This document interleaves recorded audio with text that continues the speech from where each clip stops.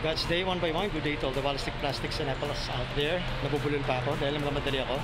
Aha, first time po lang naming mapunta rito. This is somewhere in Nasim.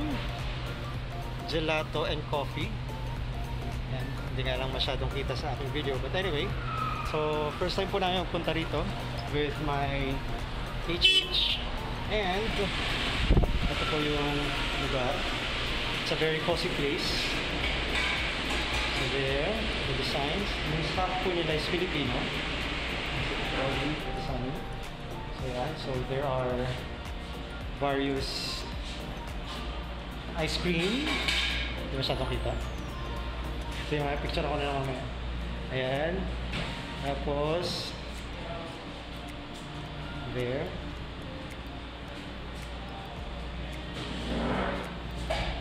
Ayan.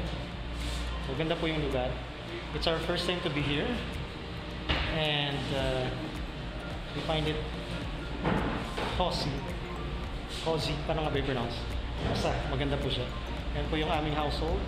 Kaway-kaway. Ka-video. Welcome to our vlog. Follow and share. ano pangalan?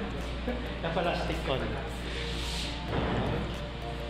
Po yung coffee. Later, itatry po namin yung saan lang kami. Tinatry, itatry lang muna namin yung ice cream doon. So yan, so nakita nyo yung ice cream over there. And the ice cream over here. So gelato, if I'm remembering it right, it's the uh, Italian version of ice cream. So there. So yan po. So that's gelato and coffee here in Nasim.